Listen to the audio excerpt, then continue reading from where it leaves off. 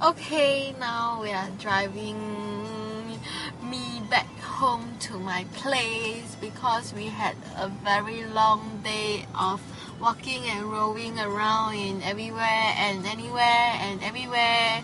Okay, anyway, that's not the point. The point is that in front of us there's a number four. Let me show you the number four. Did you see the number four? Yeah. Hmm. So in front of us right now is 8877. Okay. and 88 actually uh, means that you know abundance abundance 77 is spirituality spirituality and we have 44 and 66 over there um, number 4 is actually means stability and 6 is responsibility and there's a lot of falls everywhere now so actually um, numbers in general means a lot of things. Like for example, number one is dominance, number two is relationship, number three is all about creativity and blah blah blah. I haven't yet found out the in-depth meaning of it yet. It's not my field. It is her field. So anyway, number four is stability. Number five is changes. Number six is responsibility with families and so on.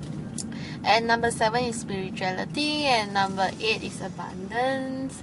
Number nine is oh another double digit. Oh hi 2722 let's add up.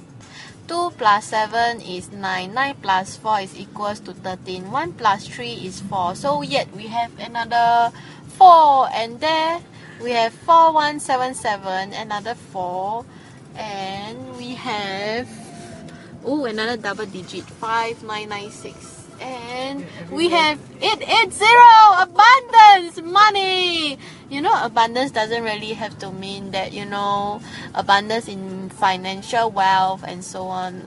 Um, it can actually means abundance in financial relationship health and all aspect of life but human beings has already associate abundance with wealth and money and you know status and so on which is really not the case as what you guys really know. So don't take abundance and as money only. Take it as you know in all aspect of life.